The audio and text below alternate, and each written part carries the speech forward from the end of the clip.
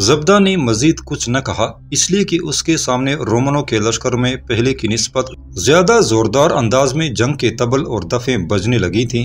جو اس بات کا اظہار تھی کہ رومن جنگ کی ابتدا کرنے والے ہیں۔ رومنوں نے اپنے لشکر کو آگے بڑھایا، پھر وہ ازینہ کے لشکر پر حملہ آور ہو گئے تھے۔ ازینہ نے بھی رومنوں کے اس حملے کا خوب جواب دیا تھا اور وہ بھی اپنی پوری طاقت اور قوت کا مظاہرہ کرتے ہوئے رومنوں پر ٹوٹ پڑے تھے۔ ازینہ کے حملہ آور ہونے کے بعد بائیں جانب سے زبائی نے بھی اپنے کام کی ابتدا کی اور وہ بھی رومنوں پر نزول کر چکا تھا۔ تیسری جانب زبدہ تھا۔ جب رومنوں کے لشکر کا ایک حصہ زبدہ کے قریب گیا، تب زبدہ اپنے اور تمر کے درمیان پہلے سے طے شدہ لائے عمل کے مطابق اپنے لشکر کو حرکت میں لائے، پھر وہ بھی رومنوں پر حملہ آور ہو گئے تھے۔ صحرائے پالمیرا میں رزمگا لہو لہو ہونے لگی تھی۔ رومن جو تعداد میں زیادہ ہونے کے ساتھ ساتھ یہ زوم بھی لیے ہوئے تھے کہ وہ ازینہ کے لشکر کی نسبت زیادہ تربیت یافتہ ہیں، یہ امید لگائے بیٹھے تھے کہ صحرائے پالمیرا میں یقیناً وہ برتری حاصل کریں گے۔ لیکن جنگ جب طول پکڑنے لگی، تب رومن لشکر کے اندر مایوسی اور ناکامی کے سائے رقص کرنے لگے تھے۔ دوسری جانب، ازینہ، زبدہ تمر اور زبائی بھی بڑھ چڑھ کر ان پر حملہ آور ہو رہے تھے۔ پھر دیکھتے ہی دیکھتے زبدہ آدھے لشکر کو لے کر تمر سے علیحدہ ہوا۔ جنگ میں مصروف روم لشکر کے پہلو کے ساتھ ساتھ وہ آگے بڑھا۔ پھر پہلو کے ایک حصے کو جسے اس نے کمزور جانا تھا، اس پر حملہ آور ہو گیا اور لمحوں کے اندر زبدہ نے رومنوں کے اس حصے کو کاٹ کر رکھ دیا تھا۔ اس کے ایسا کرنے سے قریبی صفیں درہم برہم ہونا شروع ہو گئی تھی اگلی صفوں میں لڑتے رومنوں تک جب یہ خبر پہنچی کہ ان کی پچھلی صفوں پر بھی دشمن نے حملہ کر دیا ہے اور پچھلی صفیں بدنظمی اور افراتفری کا شکار ہو گئی ہیں، تب وہ اپنی پشت کی طرف سے بھی اپنے لیے خطرہ محسوس کرنے لگے۔ لہٰذا وہ ڈٹ کر دشمن کا مقابلہ کرنے کے بجائے ادھر ادھر ہٹنے لگے تھے تاکہ پشت کی طرف سے اپنے لیے خطرے کو ٹال سکیں۔ اس موقع پر سامنے کی طرف سے ازینہ زبائی اور تمر نے بھی اپنے حملوں میں پہلے کی نسبت زیادہ دباؤ پیدا کر دیا تھا، جبکہ زبدہ پہلی ہی بری طرح رومنوں کو کاٹ رہا تھا۔ اب وہ رومن جو تھوڑی دیر پہلے تک اپنی فتح کی امید لگائے بیٹھے تھے، ان کی حالت اب دشمن کے سامنے خراب ہونا شروع ہو گئی تھی۔ رومن اس نئے دباؤ کو زیادہ دیر تک برداشت نہ کر سکے۔ آخر صحرائے پالمیرا میں ازینہ زبدہ تمر اور زبائی کے ہاتھوں رومنوں کو بدترین شکست ہوئی اور وہ باکڑے ہوئے۔ رومنوں کی شکست کے بعد زبدہ کے اندازے درست ثابت ہوئے۔ بھاگتے رومنوں نے اپنے لشکر کو دو حصوں میں تقسیم کر لیا۔ ایک حصہ حمس شہر کی طرف بھاگا تھا، دوسرا خیلو پولس کے رخ پر بھاگ رہا تھا۔ پہلے سے طے شدہ لائے عمل کے مطابق ازینہ نے روم لشکر کے پڑاؤ پر قبضہ کرنے کے لیے زبائی کو چھوڑا۔ خود وہ اس لشکر کے پیچھے لگ گیا تھا جو حمس کی طرف بھاگا تھا، جبکہ وہ رومن جو ہیلو پولس کی طرف بھاگے تھے، ان کے پیچھے زبدہ اور تمر لگ گئے تھے۔ ازینہ بڑی قہرمانیت سے رومنوں کا تعاقب کرتے ہوئے حمس تک آیا۔ رومنوں کا خیال تھا کہ تھوڑی دور تک دشمن کا تعاقب کر کے ازینہ لوٹ جائے گا، لیکن ایسا نہیں ہوا۔ جس وقت رومن ازینہ کے آگے باغتے ہوئے حمس شہر میں داخل ہوئے تو ان کے پیچھے پیچھے ازینہ بھی شہر میں داخل ہو گیا تھا۔ حمس شہر کے اندر ایک بار پھر گمسان کاران پڑا، لیکن اس جنگ میں بھی ازینہ نے رومنوں کو بدترین شکست دی۔ شہر کے اندر جس قدر رومن تھے، ان سب کا اس نے قتل عام کیا۔ اس کے بعد ازینہ حمس شہر کے نظم و نسق میں لگ گیا تھا۔ ادھر زبدہ اور تمر برابر رومنوں کے اس حصے کو کاٹ رہے تھے جو اپنی جانیں بچانے کے لیے ہیلو پولس شہر کا رخ کیے ہوئے تھے۔ کہتے ہیں ہیلو پولس نشیبی شام میں رومنوں کی ایک بہترین نو آبادی تھی۔ رومنوں سے پہلے سوامیوں نے اس شہر کا نام اپنے دیوتا بال کے نام پر رکھا تھا، لیکن ان کے بعد رومنوں سے پہلے اس شہر کو یونانیوں نے شہر شمس کا نام دے رکھا تھا۔ رومیوں کے زمانے میں بھی کچھ عرصہ تک اس شہر کا نام یہی رہا۔ تاہم شہر کا پرانا نام بالبک یعنی بال دیوتا کا شہر تھا۔ رومن شہنشاہ اگسٹس نے اپنے دور میں اس شہر کو رومنوں کی نو آبادی بنایا اور اس شہر کا نام اس نے ہیلو پولس رکھ دیا۔ اس طرح سامیو کا شہر بالبک سے ہیلو پولس میں تبدیل ہو گیا۔ رومنوں کے زمانے میں اس شہر کی حیثیت بیروت اور انتاکیا کی بات پڑتی تھی۔ لیکن رومنوں سے پہلے سامیوں کے عہد میں یہ شہر انتاکیا اور بیروت دونوں سے بڑا ہوا تھا۔ کہتے ہیں انتاکیا کے گویوں کی طرح بالبک یعنی ہیلوپولس کے نین نواز بھی دور دور تک مشہور تھے۔ ان نین نوازوں کی طلب صرف جشن ہی کے موقع پر نہیں محسوس کی جاتی تھی، بلکہ معبدوں میں خاص عبادتوں کے وقت بھی یہ نین نواز موجود ہوتے تھے۔ اس شہر کی عورتیں اپنے حسن و جمال کے لیے خاص طور پر مشہور تھیں اور کہتے ہیں یہ عطیہ یعنی یہ حسن یہ خوبصورتی ہیلو پولس کی عورتوں کو شام کی دیوی سے ملا تھا۔ جو لبنانی پہاڑوں کی ڈھلانوں پر پھرتی رہتی تھی، اس شہر کے مرد خوش گفتار اور فصاحت کے لیے مشہور تھے۔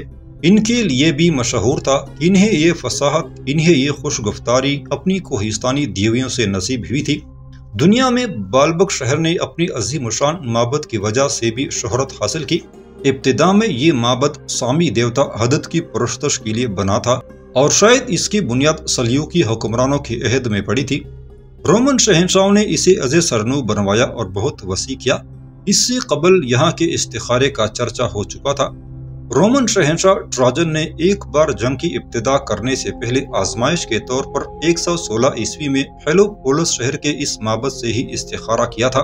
ہوا یوں کہ ایک سادہ کاغذ لفافے پر رکھ کر اس نے اس معبد کی طرف روانہ کر دیا۔ جواب میں ویسا ہی سادہ کاغذ ٹراجن کو ملا۔ پھر ٹراجن کے یہاں اس پیش گوئی کی قدر و قیمت بڑھ گئی۔ پھر اس نے بطور خاص معلوم کرنا ضروری سمجھا کہ اس مہم کا نتیجہ کیا نکلے گا۔ اس کا جواب رزمیہ انداز میں لکڑیوں کا ایک گھٹا کپڑے میں لپیٹ کر حوالے کر دیا گیا۔ راجن نے اس کے بعد جب سلشیا پر حملہ آور ہونے کے بعد وفات پائی تو ایک سو سترہ عیسوی میں وہاں سے صرف اس کی ہڈیاں ہی ملی یوں لوگوں نے اس پیش گوئی کو درست جانا، اگرچہ یہ تعویل بعد از وقت سمجھ میں آئی۔ ہیلو پولس کے اس معبد میں جسے رومن شہنشاہ استخارہ کرتے تھے، ایک دیوتا کا سنہری مجسمہ بھی رکھا گیا تھا، جس کی شکل ایک ایسے بارش نوجوان کی تھی، جس نے جنگی رتھ چلانے والے کا لباس پہن رکھا تھا۔ اس کے دائیں ہاتھ میں ایک تازیانہ تھا، جبکہ بائیں ہاتھ میں اس نے گیہوں کے خوشے پکڑ رکھے تھے۔ خاص سالانہ موقع پر اس بت کو شہر میں پھرایا جاتا تھا۔ ہیلو پولس کے خاص آدمی اسے اپنے کندھوں پر اٹھا لیتے۔ اب بھی اس مندر کے کھنڈر رومن دور عمارتوں کے کھنڈروں میں فوقیت دیے ہوئے ہیں، حتیٰ کہ اس شہر کی بڑی بڑی عمارتوں کو دیکھتے ہوئے کچھ لوگوں نے یہ اندازہ لگایا کہ ان عمارتوں کو اللہ کی نبی حضرت سلیمان علیہ السلام نے تعمیر کرایا تھا۔ اس لیے کہ ان کے قبضے میں جن تھے اور جنوں نے ہی ایسی بڑی بڑی اور عظیم عمارتیں تعمیر کی تھیں۔ اگرچہ بارہا یہ کھنڈر جنگوں سے تباہ ہوئے، تاتاریوں نے بھی انہیں برباد کرنے میں کوئی کسر نہ اٹھا رکھی۔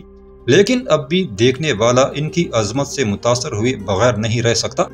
بہرحال ہیلو پولس یا بالبک کی حیثیت کچھ بھی رہی ہو، زبدہ اور تیمر دونوں اپنے آگے آگے باغتے ہوئے رومنوں کا بڑی خونخواری سے تعقب کرتے ہوئے بالبک کے نزدیک پہنچے۔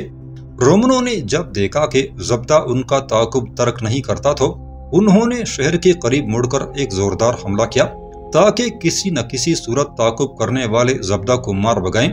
لیکن اس ٹکراؤ میں بھی زبدہ اور تیمر کے ہاتھوں رومنوں کو بدترین شکست ہوئی۔ جب وہ شکست کا کر شہر میں داخل ہونے کے لیے بھاگے تو زبدہ اور تیمر بھی ان کے پیچھے پیچھے شہر میں داخل ہوئے۔ اس طرح زبدہ اور تیمر دونوں نے مل کر شہر کے اندر رومنوں کا خوب قتل عام کیا اور جس طرح حمس پر عزینہ نے قبضہ کر لیا تھا، اسی طرح زبدہ اور تیمر نے بھی بالبک شہر پر قبضہ کر لیا۔ اور بڑی تیزی سے وہ شہر کے نظم و نسق کو درست کرتے ہوئے اسے اپنے حق میں کرنے لگے تھے۔ ہیلو پولس میں زبدہ اور تیمر کو قیام کیے ہوئے لگ بھگ پندرہ بیس دن ہوئے ہوں گے کہ ایک روز وہ شہر کی فصیل کے برجوں کا دونوں جائزہ لے رہے تھے۔ کہ کچھ گھڑ سوار شہر کے شرقی دروازے کے باہر نمودار ہوئے تھے۔ فصیل کے اوپر سے زبدہ اور تیمر انہیں بڑے غور سے دیکھ رہے تھے۔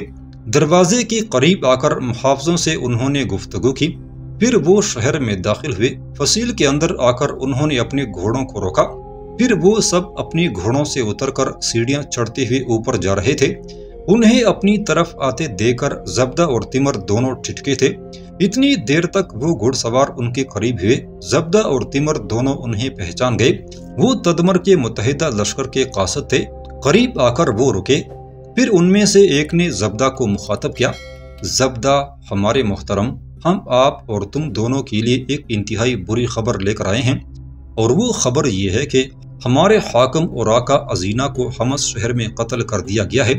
ان کے ساتھ ان کا بڑا بیٹا اور ولی عہد بھی مارا گیا ہے۔ یہ خبر سن کر تیمر نے اپنے کھانوں میں انگلیاں ٹھونس لی اور بری طرح وہ چیخ پڑی اور زور زور سے کہنے لگی، نہیں نہیں، ایسا نہیں ہو سکتا۔ اس پر دوسرا قاصد بول پڑا، تیمر، میری بیٹی، ایسا ہو چکا ہے۔ تیمر بیچاری رونے لگی اور بری طرح واویلا کرنے لگی تھی۔ زبدہ بھی تھوڑی دیر تک کہیں کھویا رہا، پھر اس نے اپنے آپ کو سنبھالا اور ان قاصدوں کو مخاطب کیا۔ ازینہ اور اس کے بیٹے کے قتل کی کیا وجوہات حمس میں رونما ہوئی، وہ مجھے تفصیل کے ساتھ سناؤ۔ اس پر وہی پہلا قاصد بول پڑا، زبدہ ہمارے محترم، حمس کو فتح کرنے کے بعد ازینہ نے اس کے نظم و نسق کو درست کیا۔ پھر ایک روز اس نے فتح کی خوشی میں جشن کا اہتمام کیا۔ این جس وقت جشن اپنی عروج پر تھا، تو جشن کی جگہ ایک سمت سے انگنت گھوڑے دوڑتے ہوئے آئے اور جشن میں بیٹھے ہوئے لوگوں میں گھس گئے۔ لگتا تھا کسی نے سازش تیار کی ہو۔ پھر جس وقت گھوڑوں کی وجہ سے جشن میں ابتری پھیلی اور لوگ ادھر ادھر بھاگنے لگے، تب اچانک ازینہ پر لوگ حملہ آور ہوئے۔ ازینہ اور اس کے بیٹے دونوں کو موت کے گاٹ اتار دیا۔ زبدہ ہمارے محترم ازینہ اور ولی عہد کے قتل سے لگتا ہے، پہلے سے کسی نے کوئی منظم سازش کی ہو، اس قتل کے بعد رومنوں کا ایک بڑا لشکر تیزی سے تدمر کی طرف بڑھا ہے۔ اس لشکر کا یہ ارادہ ہے کہ وہ تدمر پر حملہ آور ہو کر ملکہ کو بھی موت کے گھاٹ اتار دے اور تدمر پر قبضہ کر لے۔ ہمارے کچھ ساتھی اس لشکر سے آگے آگے زبائی کی طرف روانہ ہو گئے ہیں۔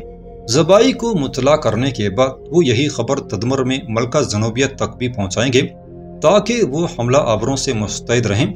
میرے خیال میں زبائی تدمر کی طرف بڑھنے والے اس رومن لشکر کی راہ روک کر کڑا ہوگا۔ ان سارے حالات سے لگتا ہے یہ کوئی گہری سازش ہے جس کے تحت پہلے ازینہ کو قتل کیا گیا ہے۔ اس کے بعد تدمر پر قبضہ کرنے کی کوشش کی ہے اور اس ساری سازش کا سرغنہ ازینہ کا بتیجہ دبرا بن اسد ہے۔ کہتے ہیں دبرا بن اسد نے رومنوں کے ساتھ ساز باز کی ہے، اسی نے ازینہ کو قتل کرایا ہے۔ اب دبرا بن اسد رومنوں کے اس لشکر میں شامل ہے جو تدمر کی طرف بڑھ رہا ہے۔ لوگوں کا اندازہ ہے کہ دبرا شاید اپنے چچا ازینہ کو قتل کرنے کے بعد رومنوں کی مدد سے ملکہ جنوبیہ کو بھی ٹھکانے لگانے کے بعد تدمر کا حکمران بننا چاہتا ہے۔ قاصد یہیں تک کہنے پایا تھا کہ زبدہ برہمی کا اظہار کرتے ہوئے چلا اٹھا۔ نہیں ہرگز نہیں۔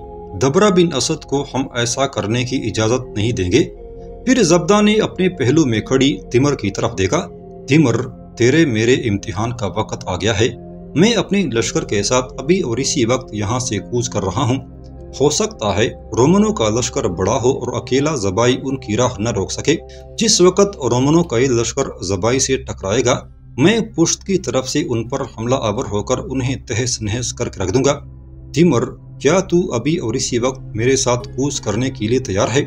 اس پر تیمر نے فوراً اپنے آپ کو سنبھالا اور کامل اپنائیت کے اظہار میں کہنے لگی، محترم زبدہ، میں تو دنیا کے آخری کونے تک ہر وقت آپ کے ساتھ سفر کرنے کے لیے تیار ہوں تمر کے اس جواب پر زبدہ خوش ہو گیا تھا۔